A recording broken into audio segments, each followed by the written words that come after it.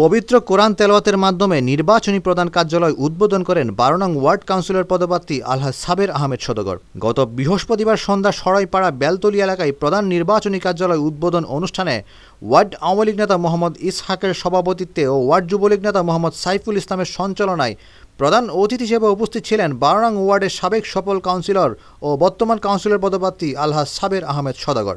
বিশেষ অতিথি হিসেবে উপস্থিত ছিলেন মহিলা কাউন্সিলর পদপ্রার্থী গুলজার বেগম রুবি। বিশেষ অতিথি হিসেবে আরও উপস্থিত ছিলেন পাহাড়তলী থানা আওয়ামী লীগ নেতা সেকান্দর আলম সেগু, ওয়ার্ড আওয়ামী লীগের সিনিয়র সদস্য মোহাম্মদ হালিম, ওয়ার্ড যুবলীগ নেতা মোহাম্মদ নিজামুল হক নিজাম। এছাড়া আরও উপস্থিত ছিলেন মোহাম্মদ আলী, মোহাম্মদ আজিজ, সমাজ উন্নয়ন কমিটির নেতা মোহাম্মদ নুরুল হুদা, যুবলীগ নেতা জাফর ইকবাল, ছাত্রনেতা হাজি ফারুক আহমেদ অফু ইমন রনি সহ ও স্থানীয় নেতৃবৃন্দ। এ সময় সাবের আহমেদ সদাগর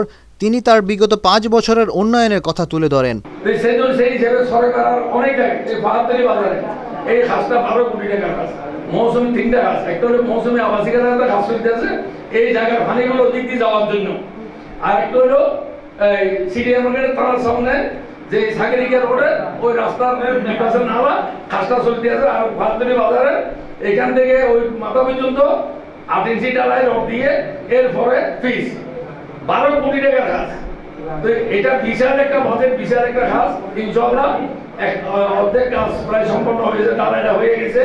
ভিতরে আবার দেড় কোটি টাকার কাজ। ভাতের বাজারের ভিতরে দেড় কোটি টাকার কাজ, ছয়টা রাস্তা। নালা, বিভাজন নালা, ছয়টা রাস্তা। এটা টেন্ডার হয়ে গেছে। ওই কামাল কন্ডাক্টরের ম্যানেজার জসিম ওই কাজটা পেয়েছে এটার জন্য আমি ওইটা বাকি রেখেছি, এটা দুই একদিনের ভিতরে কাজটা তুলবে। টাকা বাকি দেখবে।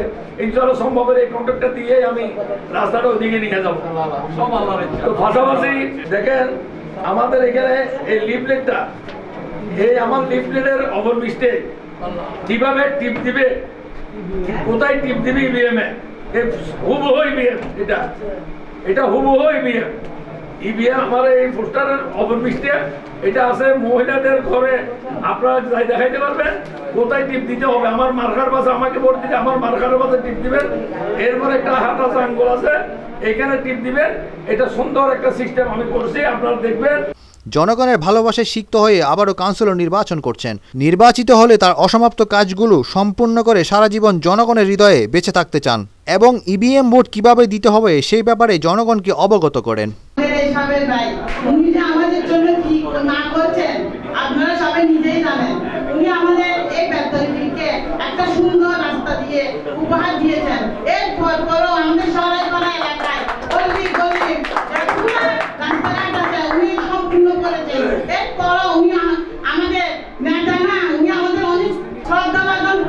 বললেই চলে। উনি আমাদের হিসেবে করে কাজ করে নিজের আপ্রাণ চেষ্টা করে নিজের রাত দিন পরিশ্রম করে আমাদের যে সেবা দিয়ে গেছে আপনারা সবাই ওনার জন্য দোয়া করবেন এবং সামনে সাতাশ তারিখ ইলেকশন আমাদের আমাদের সালের ভাইকে গালাগাড়ি মার্কা ভোট দিয়ে জয়যুক্ত করবেন।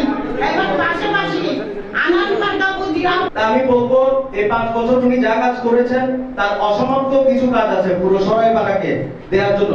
আপনারা আমার পিতাকে ওই সুযোগটুকু দিবেন। সাতাইশে জানুয়ারি যে নির্বাচন ওনাকে ঠেলাগাড়ির প্রতীকে ভোট দিবেন। আসিফুজ্জামান দ্বীপ টিভি চট্টগ্রাম।